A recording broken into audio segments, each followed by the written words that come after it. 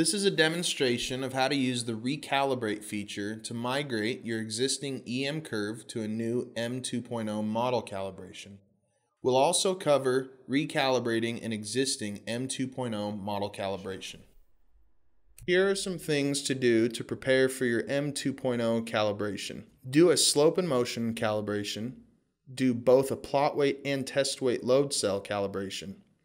You'll need a minimum of two samples with a known moisture. One sample, closest to the industry moisture standard, with a known test weight. The more samples you have, the better. You'll need at least a 3% moisture spread from lowest moisture to highest moisture. The more samples you have within about a 10% range, the better, but two or three samples will suffice. Each sample should weigh at least 6 pounds, and the samples need to be at ambient temperature. The samples do need to have a natural moisture content, no re-wetting of samples.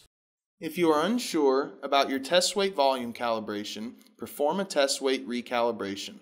To do this, select the calibration you would like to edit and select the pencil icon. From here, tap the gear icon and ensure that the insert count reflects what is currently in the test weight chamber of the H2. Once you have done that, press the Recalibrate button in the bottom left corner of the screen. Tap Test Weight Adjust and select the green arrow to proceed. To adjust the test weight, we only need one sample. Enter the known test weight and dump the sample through three times. Press the button to proceed. The change settings are now shown.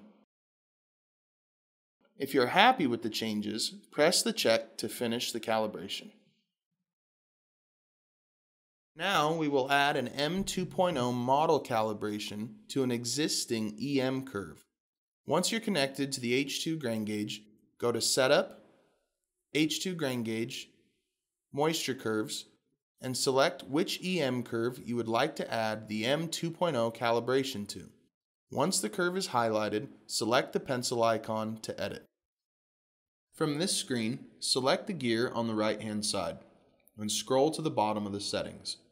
Use the drop-down within the H2 Moisture 2.0 grain model box to select the grain type. Once the grain type is selected, hit the Recalibrate button in the bottom left of the screen. A prompt will appear to save the changes. Select Save. The Recalibrate menu will then be shown. Select the H2 Moisture 2.0 Model Adjust and click the green arrow to proceed. Now we can begin dumping samples.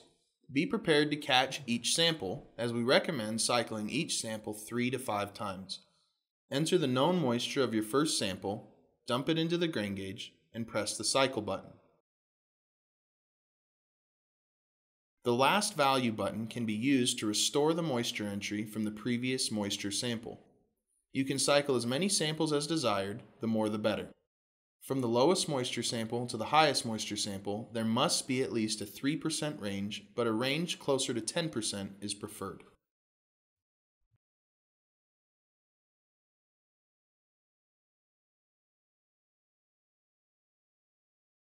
Once you have dumped all the samples you have available, press the green arrow to proceed to the next step. This screen shows the values calculated as a result of your new calibration. In addition to the settings you've seen in the past, notice the offset value at the bottom of the screen. The offset is a value that shifts our existing model to match your benchtop standard. Different grains at different moistures have a range of acceptable offsets, so if any offset number is present, the M2.0 model has been calibrated successfully. Once you have verified that an M2.0 offset is present, Hit the green check in the bottom right to finish the calibration. This screen shows your previously existing EM curve. The M2.0 offset is saved in the settings of the calibration. From this screen, you can dump samples through the grain gauge and cycle them using this yellow cycle button in the bottom left corner. Once the grain is cycled, readings will be displayed in this window. Notice that the M2.0 and EM data are displayed side by side. However, when using this calibration and harvest, only your M2.0 data will be displayed by default. Traditional EM data can be exported using the Advanced Export option. When you are ready to save the calibration, press the green check in the bottom right. An existing M2.0 model can also be recalibrated. From the moisture curve screen, highlight an existing M2.0 calibration and tap the pencil icon to edit. Select the Recalibrate button in the bottom left of the screen. Within the Recalibrate menu, select the H2 Moisture 2.0 Model Adjust on the bottom. Press the green arrow to continue. Now, samples can be cycled to adjust the model as seen in the previous steps of this video. When you have cycled all of the samples you have available, finish the calibration and save by hitting the green check on the bottom right of the graph screen.